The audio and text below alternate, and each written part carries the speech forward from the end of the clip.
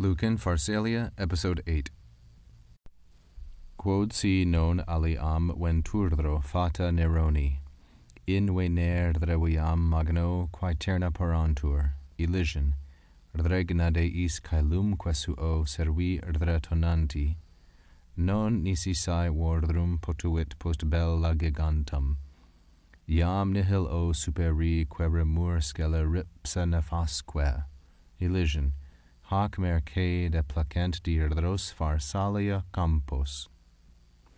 Obviously, the sentence continues here after this period. We will not be analyzing this portion until the next episode.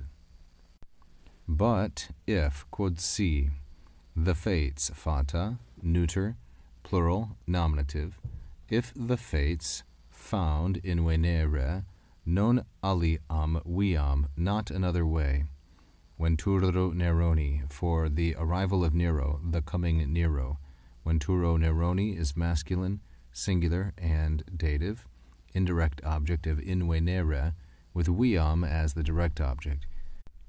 Invenere is a third plural perfect. It's common in poetry for the third plural perfect to be a syncopated form, invenere, instead of invenerunt, which it would be in prose and qua if aeterna regna eternal kingdoms are prepared for the gods magno at a great price this is magno pretio parantur is passive the subject is regna neuter plural nominative modified by aeterna in the same gender number case and deis is masculine plural dative.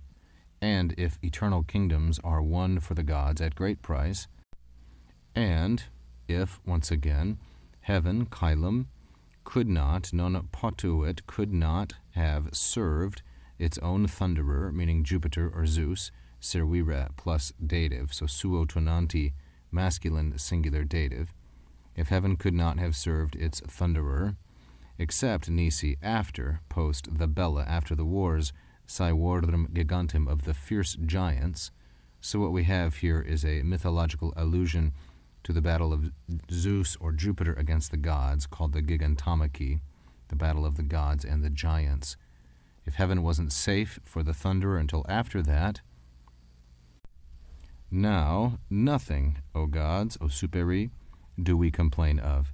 Queremur is first plural, present indicative passive, the deponent verb queror, queri, third conjugation, and nihil is its object. O superi, masculine, plural and vocative. Now we complain about nothing, O gods.